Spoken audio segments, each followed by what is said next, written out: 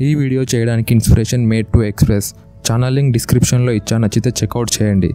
Ancient philosopher ఎపిక్టేటస్ ఒకసారి ఏమన్నాడంటే మన జీవితంలో జరిగిన సంఘటనల వల్ల కాదు. మనం ఆ సంఘటనలను మనం మళ్ళీ మళ్ళీ గుర్తు చేసుకోవడం వల్ల మనం బాధపడతాం. ఈ కోట్ను ఫాలో అయ్యే వాళ్ళు స్టాయిసిస్ అని మనం అనుకోవచ్చు.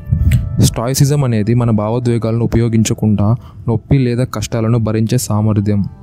ఈ స్టాయిసిజంని చాలా బాగా వాడిన క్యారెక్టర్ ఫర్బ్. ఫర్బ్ ఎవరంటే డిస్నీ ఛానల్లో టెలికాస్ట్ అయ్యే ఒక popular TV comedy show Phineas and ఫర్బ్లో ఒక మెయిన్ క్యారెక్టర్ ఫర్బ్ ఎక్కువగా మాట్లాడడు. ఇలాంటి వాళ్ళు ఏమంటారంటే quiet people have the loudest minds మీలో ఎంతమంది ఫీనియస్ అండ్ ఫర్బ్ చూసారు మీరు జాగ్రత్తగా గమనిస్తే ఫర్బ్ ఎలాంటి సిచ్యువేషన్ వచ్చినా ఎంత కష్టం ఉన్నా ఎంత సులభంగా అది దొరికినా ఫర్బ్ మాత్రం దాన్ని చాలా కామ్గా ఎంజాయ్ చేస్తాడు.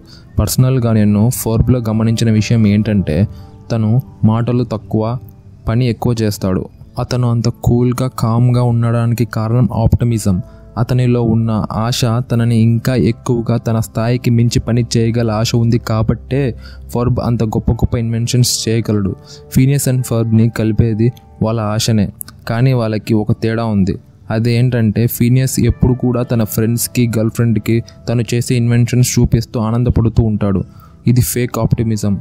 అంటే ఇక్కడ తన ఆశ పడుతున్నాడు. వేరే వాళ్ళని ఇంప్రెస్ చేయడానికి ఫర్బ్ విషయానికి వస్తే ఫర్బ్ ది జెన్యున్ ఆప్టిమిజం తను తన కోసం కష్టపడతాడు. అందుకే తను చేసే పని ఫెయిల్ అయినా కూడా ఎక్కువ బాధపడడు. ఎందుకంటే ఎవరు ఏమనుకుంటున్నారు అని ఫర్బ్కి అవసరం లేదు.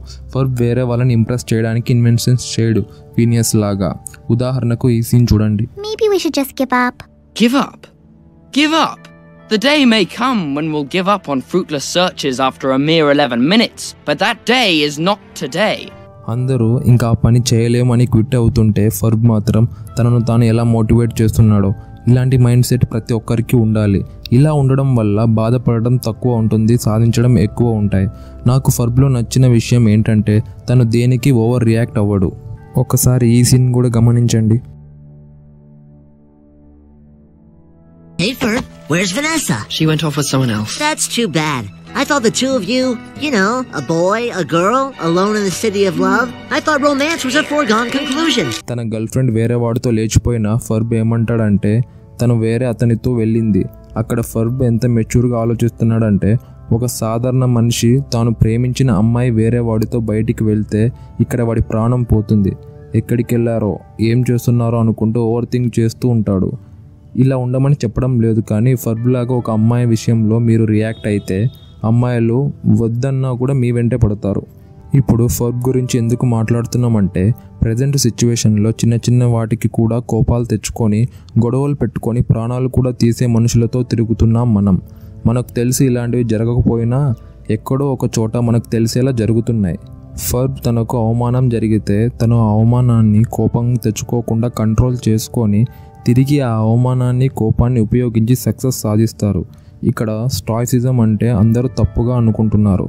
స్టాయిసిజం అంటే ఫీలింగ్స్ని ఎమోషన్ని చంపుకోవడం కాదు.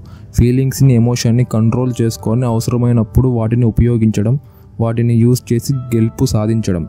ఫర్బ్ ఎప్పుడు కూడా ఇంట్రెస్టింగ్గా ఉండటానికి కారణం అతను ఎక్కువగా మాట్లాడడు. అతను చేసే ఇన్వెన్షన్స్ చాలా గొప్పగా ఉంటాయి. ఫర్బ్ ఎంత గొప్ప ఇన్వెన్షన్స్ చేసినా తను షో చేసుకొని అందరికీ చెప్పుకోడు. అదేదో సింపుల్గా చేసినంత కూల్గా ఉంటాడు.